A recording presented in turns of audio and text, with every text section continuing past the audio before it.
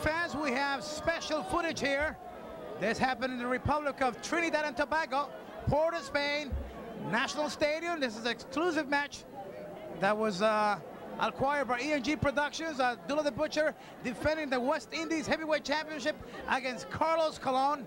International competition just to prove the point on the rivalry of Carlos Colon and Abdullah the Butcher and the intensity that also involves the fans in this feud where Abdullah is involved. Referees, uh, Mr. Parker from Trinidad tell you, Hugo, anytime you get involved in a rivalry like this between Carlos Colon and Abdullah the Butcher, emotions run high. And when you get those emotions running high, sometimes it boils over and carries over to the people watching the match themselves. And when you get a situation like that, you got a potential riot situation. And, you know, I have a feeling that by the time this match gets over with, that there's going to be a lot more than just the two wrestlers involved in this match. Okay, Abdullah the Butcher ready to get it on. So is Carlos Colon. No strangers to each other. One of the most explosive rivalries in professional wrestling. Carlos Colon and Abdullah the Butcher.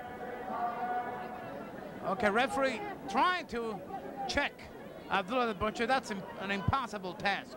Well, you know, Abdullah the Butcher, you can check him all you want to. It looks like he's trying to do a thorough job. But my guess would be that somewhere on that 500 pound body. He'd be in the boot. Probably have to run him to one of those airport x-ray machines. Yeah, you have to run him, run him through a metal detector. They need one of those things to run him up and down his legs, because I guarantee you, inside one of those boots or something, he's got that fork hidden somewhere. That machine go crazy with the noise when he comes through. Okay, Abdullah the Butcher in the corner, Carlos Colon all over the champion.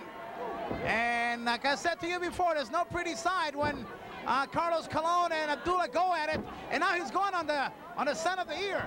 Tell you what, uh, Carlos Colon going right to going right to business on hand on Abdullah the Butcher on that ear. You know, Carlos Colon is, you know, he's a nice man, he's a great man, but like I said a couple of times in this tape, the people have seen these two in action throughout this whole tape. There's no love lost at all between these two men. Well, there was even some judicial involvement here in the Republic of Trinidad because of this match. Some some other things occurred, and ENG Productions had to get this tape from the police department in Trinidad because this tape uh, was taken as evidence uh, by the police of Trinidad. Well, I tell you, uh, I haven't had a chance to see this tape yet, Hugo. I've heard a lot of stories about this particular match right here. The first time I've actually had a chance to see it on video because nobody thought the video existed. But E&G Productions managed to get their hands on it, and I have a feeling before it's all over with, the people out there are going to see something they've never seen before. Okay, Carlos Colon all over the ear now. Some blood coming out. I Abdullah the Butcher in the corner. So far, he has not thrown one punch. Tell you what, so far it's been all Carlos Colon, which is very unusual because usually Abdullah the Butcher is the one that starts the action by jumping his opponent. But right now, the madman from the Sudan looks a little uh, surprised at what's going on right now. If there is a secret or a way to try to beat Abdullah, it must be the consistency and the ability of take out the punishment that Abdullah could dish out. And if there is a way to beat him, you have to look right at his eyes and don't let him intimidate you with as much punishment as he could throw at you. You've got to fight him back. And that's what Carlos Colon is doing. He's biting the ear right now. Referee Parker attempting to control his match. And uh, Mr. X, you know that's impossible. That's exactly right. Uh, referee is just uh, another body in the ring as far as uh, that goes. When you get these two men together in a squared circle, Carlos Colon biting on the ear, uh, you know, taking advantage of whatever opening. You hear Abdullah screaming oh, yeah. like a like a, like like a beast in pain. Well, I tell you, you know, just like you brought up a few minutes ago, Hugo, when you get in the ring with this madman from the Sudan, you can't let him know that you're scared. It's just like when you're out in the wild and you're confronted with a wild animal. If you let them know that you're scared and they see the fear in your eyes, then you don't stand a chance. I would love to get the impressions of Carlos Colon once he sees this VHS. I would like for him to uh, analyze some of this rivalry. And perhaps on the next production of ENG, we might get some of his comments on Carlos' viewpoint on this rivalry of Abdullah the Butcher himself. Because believe me, if there's one guy that knows about Abdullah, must be Carlos because of the many, many battles where he has been involved and his life has been in danger. And I think sometimes the man that knows uh, uh, the other man better is that rival. I'll tell you, you're absolutely right, Hugo. Carlos Colon probably knows more about Abdullah the Butcher than any other wrestler in the sport of professional wrestling. He knows how to deal with him. He knows how to handle him. He knows what it takes to get prepared for a match with Abdullah the Butcher. And we're seeing evidence of that right now. Look at him. He's going to town on him. Abdullah the Butcher hadn't had a chance for any offense whatsoever. It's been all Carlos Colon to this point. Let's give credit not just to Carlos Colon, but to all other courageous professional wrestlers that have been in the ring with Abdullah because just signing for a match with him deserves credit. Well, you know, sure it deserves credit because, as we mentioned throughout this tape, anytime you step in a squared circle with this guy, you're putting your life on the line. And Carlos Colon has done it all kinds of times. So you have to sit down and wonder, well, is he crazy or is he does he know what he's doing? And I know Carlos Colon, and he's a tough son of a gun, and he's going to take whatever he has to take. He's going to do whatever he has to do to take care of Abdullah the Butcher. And I think that right now he's doing what has to be done, trying to slow down the madman from the Sudan. But you know Abdullah the Butcher can take a, a, tremendous amount of punishment and come back for more. Good shots by Carlos. He's been hit in that area around the ear where he's already been uh, uh, in pain, bleeding, and uh, if there is something that it's stopping Abdullah, I think it's been those shots to the side of the ear. Maybe he's a little bit uh, confused, maybe not able to mount an offensive, and this could be the opportunity that has been long awaited by Juan Carlos Colon. Well, it seems like if you uh, kick that guy in the head enough, there's not enough brains there to really amount to too much. It wouldn't take a whole lot to disorient this man. I don't see uh, Chicky Starr or anybody else out there trying to manage this guy, trying to give him some advice. So I guess he's out there on his own. And right now he looks a little disoriented. Maybe he's lost, maybe he's confused, and maybe he's wondering how in the heck Carlos Colon could be doing this to him when usually he's the one that's at the point of advantage at this time in the match. But hey, I've got all the confidence in the world that this sadistic guy is going to find some way to stop Carlos Colon and start dishing out his kind of punishment. Mr. X, may we gather now that perhaps he has hurt you in the past or one of your relatives or perhaps uh, some member of your family? Well, I, let's just be safe to say that uh, I've had a lot of personal friends that have come to injury with Abdullah the Butcher. Uh, when I was in Kansas City, Missouri, I saw him take a young guy that never been, maybe wrestled three or four matches, and he got him in the ring, started using the fork, opened him up like a cantaloupe, and it was one of the most glorious spectacles I've ever seen in my life. A personal friend of mine, and that's as far as I'm going to take it. All I can say is something's got to be done to stop this guy, and I think Carlos Colon's on the right track. Well, to say the least here, if there's uh, any of the managers or lawyers of Abdullah the Butcher watching this VHS. I was just contracted to do this tape. Nothing personally involved here against Mr. Abdullah the Butcher or his acquaintances. I've just been contracted by ENG Productions. And having stated that, let's go back into this match where Abdullah has regained control and now using that violent style, he's all over Carlos Colon and the fans here in the Republic of Trinidad and Tobago worried now as they know once Abdullah gets going, it is hard to stop him. Well, you know, Hugo, like I told you, I personally, I've just been waiting for this to happen. A couple of big karate thrusts to the throat of Carlos Colon, a couple of headbutts to the head of Carlos Colon, and there looks like a cheap shot, low blow, below the waist shot by Abdullah the Butcher. Now he's got Carlos Colon in trouble. Now we're going to start seeing the sadistic side of the madman for the Sudan, the maniac, the butcher.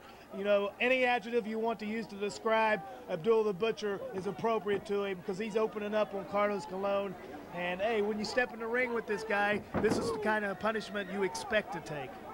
Okay, Abdullah on the go right now. Carlos Colon in trouble. Here comes Abdullah right to the eyes. And fans that have followed this rivalry, they sure know how much damage Abdullah has done to the eyes of Carlos Colon. A lot of blood here on Abdullah's uh, face and forehead. But now he's got the advantage. Carlos Colon is down. West Indies Heavyweight Championship match. Republic of Trinidad and Tobago. We are in Port of Spain. And nothing can save Carlos but his own guts and ability to overcome, if he can, this big man. Tell you what, I just noticed a couple of minutes ago, and he probably still has it, that sadistic smile on the face of Abdullah the Butcher when he's inflicting punishment. Oh, he blocked a shot there by Carlos Colon, and that big karate thrust. I tell you what, Abdullah the Butcher's going crazy on Carlos Colon right now. You got to give the guy a little bit of credit. He's sadistic, he's maniac, but he's got his tactics, his strategy in the ring, and it comes from a lot of experience and hurting a lot of people. But you know, Hugo, the get, then again, getting back to the whole point of this tape by ENG Productions is to point out, because you know some of these tapes you didn't think existed. You were surprised by a couple of things that's happened on this tape. But the point of the matter is something's got to be done to try to get some kind of control on this individual before he ends up virtually killing. Okay, a low back uh, kick to the groin area of Abdullah the Butcher, and I think he hit the target as Abdullah goes down on his knees, and now Carlos Colon all over punching Abdullah the Butcher. Good shots by Carlos, and we might point out here, Mr. X, that no one is safe with Abdullah, not his managers, nobody. I don't think even Abdullah the Butcher is safe from Abdullah the Butcher. He might be called his own worst enemy as he doesn't know the meaning of respect. And that's what has got him in a lot of trouble throughout his wrestling career. Successful athlete, yes, but boy, has been, he been fined by many commissions and also involving a lot of uh, a lot of things that maybe we should not discuss here, but he's a vicious, vicious man. Outside the ring at uh, Port of Spain, knocking the head of Carlos against the ring post. Well, we're talking about some heavy damage here. Referee counting, he's not really worried about this. Oh no, Abdullah the Butcher, eventually sometime during his match, he's going to take the action outside the ring. Now he's taking Carlos's head, pounding it into the turnbuckle post. Now it's busted Carlos Colon's head wide open. And I know Abdullah the Butcher's enjoying this, but Hugo, look at the people standing Yes, uh, now we, we must point out that there are some wrestlers, some local wrestlers from Trinidad that are around the ringside area. This big confrontation not only uh, got the attention of the people of Trinidad, but also the wrestlers wanted to be that close in case things got out of hand, just as they are right now. So we can expect almost anything to happen here. So let, let, let's not get alarmed if anything wild happens here, because remember, the wild man is in the ring. He's in action, and he hates Carlos, and so does Carlos, and it's a bloody battle. Trinidad is the setting point. West Indies championship, and the referee does not have a clue of what to do here. Well, the officials in the Port of Spain obviously realized that there's something going on in this match. That He's an idiot. Let's put it that way. He's a damn idiot, if I might use that word, because at this given point in this match, I think he should have already stopped the match because things have been out of control, only to provoke something to go out of disaster here. He should have stopped the match maybe minutes ago. Oh, yeah, when they were both outside the ring and the people started coming to their feet, oh, you can start feeling, even standing there watching this tape, you can feel the hatred those people had. It's going to get to the point where this thing can get out of control. I mean, when you have to get a tape from the police commissioner from the Port of Spain, obviously there's things in this tape that people don't want seen. But ENG Productions managed to obtain this tape, and I guarantee you, we're not going to be disappointed if you want to see some kind or obviously something's going to happen. You're right, the match should have been stopped. The referee is an idiot. Okay, Carlos Colon well, I don't know how he got some energy back together, but he's fighting back. And he's been hurt because when Abdullah knocked him against the ring post, his knees just buckled and he went down the hard way. But only that courage of a professional athlete and that pride of being in professional wrestling is beautiful and dangerous sport that we love and respect. It's what's given him the strength to battle. Look at that kick by Abdullah the Butcher.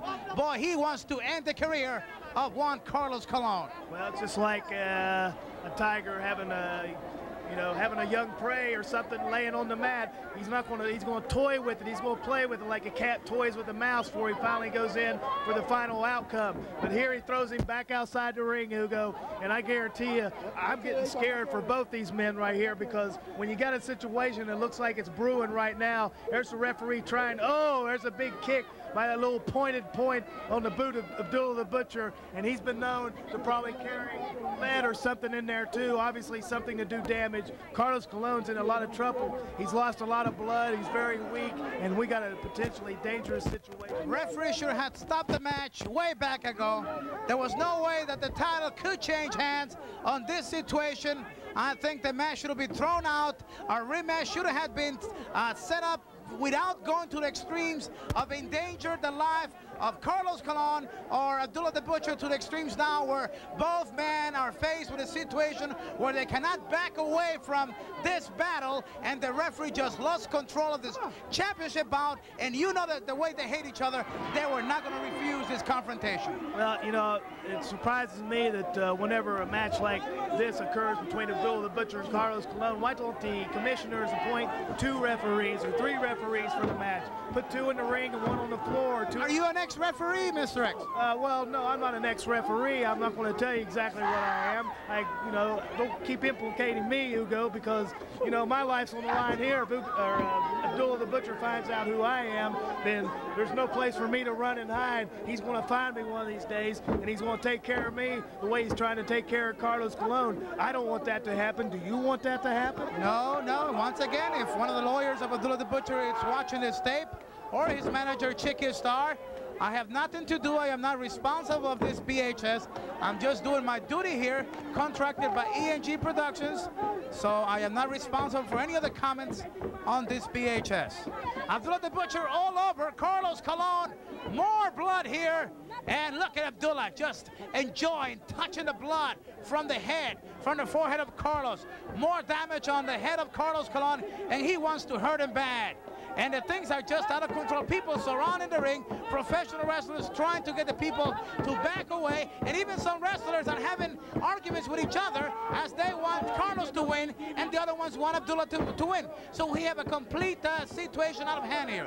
I tell you what, you got riot conditions here, and there's that big Sudanese meat cleaver one more time on the body of Carlos Colon, and he kicks out. I don't know where he's getting the strength to do that, but you know, this referee has had no control of the match from the very beginning. And like you said, he's a damn idiot. Excuse me, ENG Productions for saying that. But there's that big meat cleaver again. Again, Carlos kicks out, but look at the people standing around the ring. Hugo, it's a bad situation. No room for survival here as both gladiators have been cornered. Okay, now he's counting here. He has five. Oh, wait a minute. He has just stopped. Uh, he has just stopped the match. One second here. Referee stops the match because of the blood conditions of Carlos Colon and Abdul the Butcher retains the West Indies Heavyweight Championship. Then why the heck didn't he do this 10 minutes ago if he finally had to do this? Okay, I have no, I, am sitting here uh, baffled by this particular decision. I mean, if you're going to stop the match for blood, like you said, why not stop it 10 minutes ago before the people got fired up the way they are right now? You know, this guy, uh, I've never seen him before, Hugo. Maybe you know who he is, but uh, I hope he never refereed any more matches after this because he's incompetent. Just point out that perhaps the fear of being involved in this match, maybe even that the referee wanted to be involved directly with this. And the results are clear as they are right now. A bloody mess, no positive results. Here's another one of the wrestlers coming in to try to stop Carlos. Here we have uh, one of the Trinidadian wrestlers. He gets thrown out. Abdullah the Butcher, he has retained the championship. Carlos Colon disappointed.